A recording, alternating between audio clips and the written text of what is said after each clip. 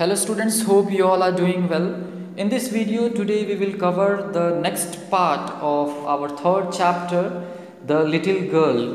तो students last video में हमने कवर किया इसका जो दो पेजेस हैं हमने कवर किया था the little girl page number 32 and 33 को कवर किया था एंड आज की इस वीडियो में हम लोग देखेंगे कि फर्दर ये स्टोरी जो है कैसे मूव होता है तो स्टूडेंट्स अगर हम इस स्टोरी की बैकग्राउंड के बारे में बात करें तो इन दिस स्टोरी एक गर्ल है जिसका नाम है केजिया एंड uh, ये जो है अपने डैडी से जो है अपने पिताजी से वो बहुत ही ज़्यादा डरती है एंड डैडी जो है वो जब भी वर्क पे जाते हैं तो ये काफ़ी खुश हो जाती है।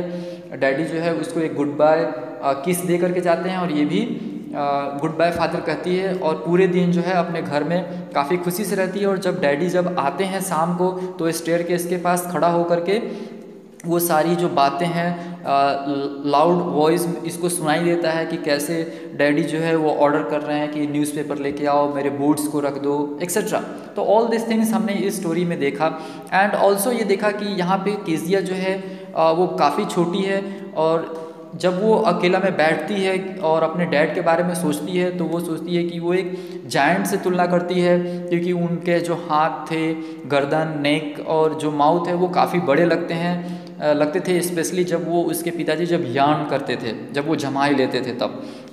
एंड जब भी फादर उससे बात करने की कोशिश करते थे केजिया से तो वो स्टटर करती थी। स्टटर मीन्स हकलाना, वो हकलाती थी बट इनफैक्ट वो दूसरे के साथ नहीं हकलाती थी। वो इस चीज़ों को छोड़ चुकी थी ऑलरेडी लेकिन वो अपने पिताजी के साथ जब भी बात करती थी तो वो हकलाती थी।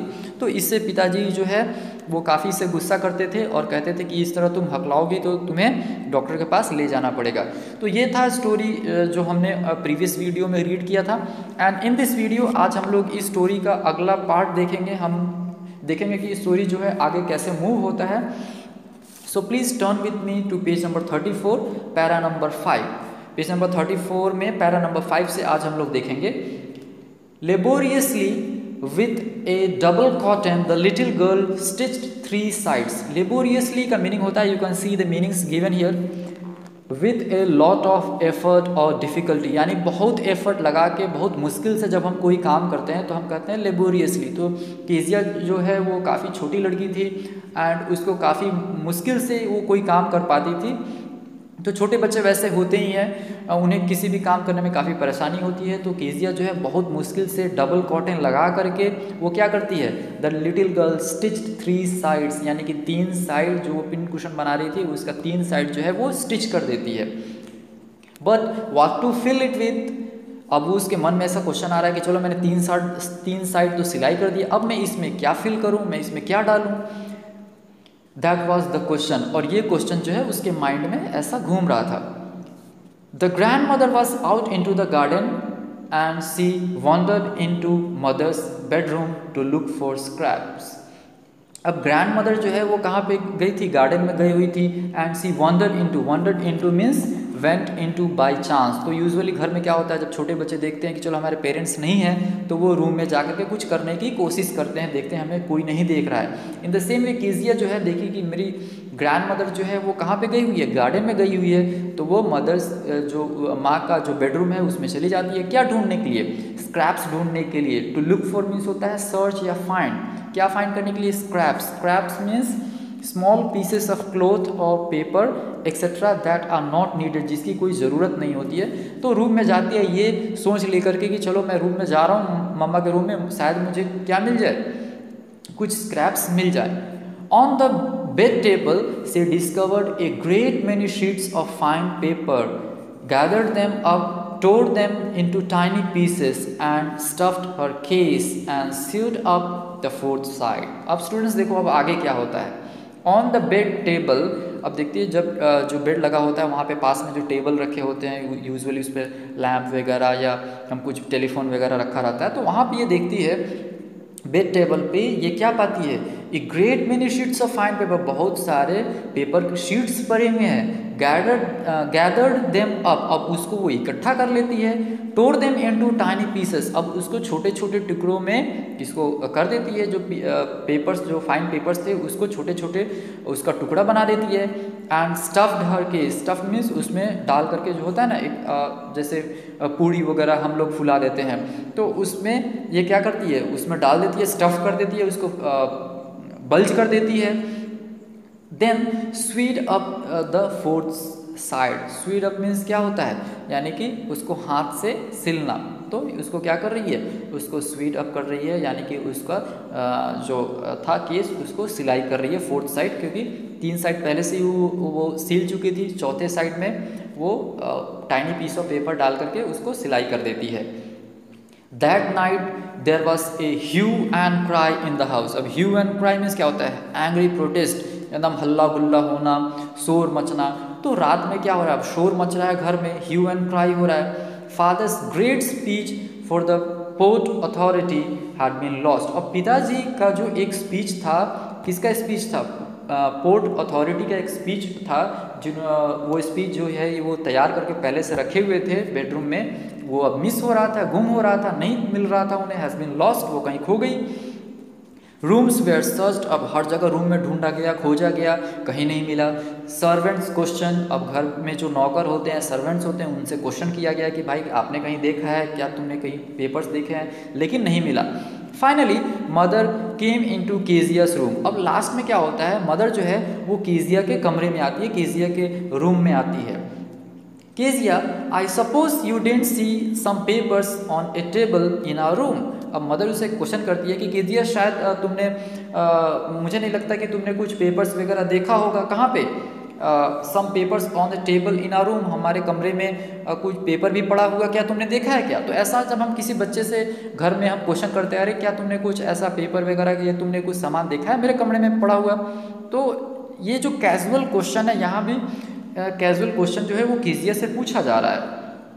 अब केजिया क्या रिप्लाई करती है? ओ यस सी सेट अरे हाँ I tore them up for my surprise अरे हाँ हाँ मैंने उसको क्या किया? मैंने तो उसको फाड़ दिया सरप्राइज़ देने के लिए। वॉट स्क्रीम मदर अब ये कहती है, क्या तुमने क्या किया? ऐसे करके वो चिल्लाने लगती है। Come straight down to the dining room this instant अभी मेरे साथ चलो, तुम कहाँ पे? डाइनिंग रूम में चलो, अभी इसी वक्त। अब ये पैरा नंबर फाइव था, अभी हम पैरा नंबर सिक्स में देखते आगे क्या होता है। And she was drag down drag down means होता है ना, हम किसी को घसीट के फ्लोर पर एकदम खींच करके जब हम लाते हैं, कोई आना नहीं चाहता है तो छोटे बच्चे जब यूजुअली डर जाते हैं तो वॉक नहीं करते हैं तो उन्हें हाथ पकड़ के खींचना पड़ता है। तो यहाँ पे उसको ड्रैग किया जा रहा है। Drag down to where father was pacing pacing means कदम बढ़ा के आगे चलना होता है ना। तो वो पेस कर रहे थे टू एंड फ्रो मीन्स यहाँ वहाँ कदम बढ़ा रहे थे, एकदम टहल रहे थे हैंड्स बिहाइंड हिज बैक यानी कि वो अपना हाथ पीछे रख करके वो पेस कर रहे थे वॉक कर रहे थे।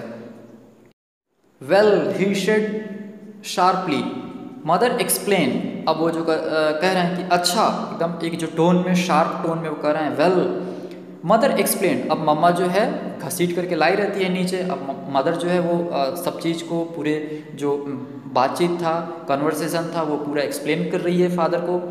He stop and stare at the child अब वो वॉकिंग करना स्टॉप कर देते हैं, जो पेस कर रहे थे ओके कदम बढ़ा रहे थे, हाथ पीछे करके वो रुक जाते हैं and stare at the child और वो कीजिए की तरफ़ एकदम घुर्रा करके स्टेयर करके देखते हैं। डिड यू डू दैट क्या तुमने ये सब किया? उससे क्वेश्चन कर रहा है। अब केजिया जो है, यहाँ भी वो स्टटर कर रही है।